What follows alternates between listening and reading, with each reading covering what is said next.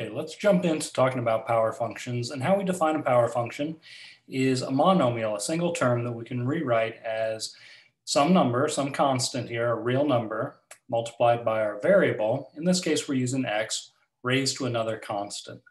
Um, the variable out in front, or the number out in front is referred to as the coefficient. All right, so let's identify which are and are not um, power functions or can be rewritten as power functions. Now, all these over on the left-hand side, these are actually all power functions or can be rewritten as such. All right, so the constant function is usually a kind of difficult one, but what we want to do on a lot of these is we're just going to be referring back to some exponent rules. If you'll recall, we can rewrite anything raised to the zero power is equivalent to one.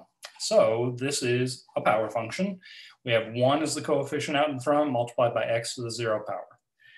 Next one, the uh, identity function is just x or x to the first power. Again, one out in front. Quadratic function, x squared, pretty obvious, I think. x cubed, the cubic function. Then we get to the reciprocal function. Again, a little bit of review on our exponent rules. You're allowed to move this x up to the numerator from the denominator by switching the sign on the exponent. So we can write this as 1 multiplied by x to the negative first power the reciprocal squared function, the 1 over x squared. Again, same exponent rule, you can rewrite this as x to the negative second power. So we can think of that as being a power function as well. Then we get into just quick review over some of our um, exponent rules. We've got a square root function. You may recall that this has a 2 out here in the index um, for this radical. And this can be rewritten as x raised to the 1 over 2 power. Similarly, the cube root function is x raised to the 1 over 3 power. just real quickly off to the side here, we can rewrite any of these if you look at the index on the radical, and then whatever exponent this is raised to, we'll call it m. These can be rewritten as x to the m over n as a rational uh, exponent. All right, let's take a look at three more real quickly and see, are these or are these not going to be power functions or at least equivalent to power functions? On this first one, f of x, everything's being multiplied together.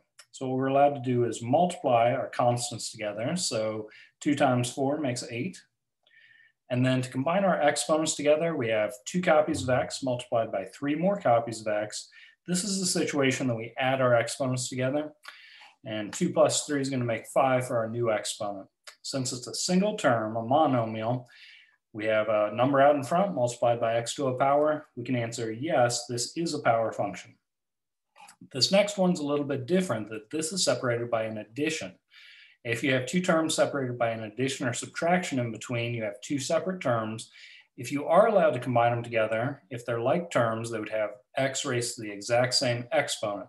That's not the situation on this. We are not allowed to combine these terms together. So we'd have to say, since we can't combine them into a single term, this is not a power function. Also on h of x, down here at the bottom, we can't do any nice simplifying down here. Um, you can only simplify our fractions if you have factors, um, multiplication basically up in the numerator and in the denominator to be able to cancel things out.